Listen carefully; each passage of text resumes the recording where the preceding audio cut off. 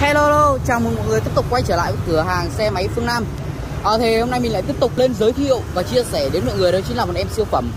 Dòng này có tên gọi là SOEM Đó, em chủ nhá. Đó, rất chưa lâu rồi thì cửa hàng mình hôm nay mới về lại.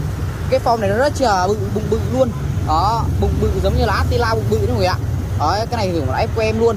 Đó thì mình sẽ bao quát dàn ngoài trước ờ, em FWM Em chủ này thì mình sẽ vào phần phía sau nhá được đăng ký ở biển số 59 thành phố đó thành phố Hồ Chí Minh của ạ K1 à, 23453 biển số rất chưa đẹp nhá. Đó 23453 đó cực kỳ đẹp luôn.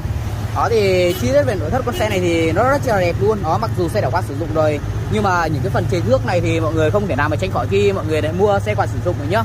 Nhưng với một cái giá thành rẻ thì mọi người đã sử ngay cho mình là một em xe. Đó giá rất là rẻ luôn thì mọi người đã sử một em xe rất là đẹp nhá.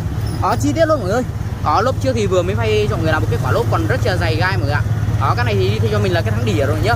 Đó, phanh lại cực kỳ an toàn luôn. Đó, mình sẽ lên sơ cái dàn đầu mình sẽ quay chi tiết hơn. Đó, máy thì đang nổ gan ti luôn nhá. Đó, để nói với cái dòng này thì mọi người nào bảo từng chạy rồi thì nó rất chia là bền bỉ luôn. Đó, mình sẽ bô sơ mọi người cùng nghe nhá. Đó, cực kỳ đã luôn nói chung là với một cái giá thành rẻ thì mọi người đã sửa ngay cho mình là một con xe đi làm rồi nhá. Đó, mọi chức năng trên xe rất là đầy đủ luôn. Đó, quay đèn đề đó. Xi nhan trái phải đều hoạt động tốt hết luôn. Đó, xe giá rẻ thì giá rẻ nhưng mà mọi chức năng vẫn đầy đủ hết rồi nhá. Đó, đèn thì không thể nào mà đèn đầy đủ hết mọi người nhá.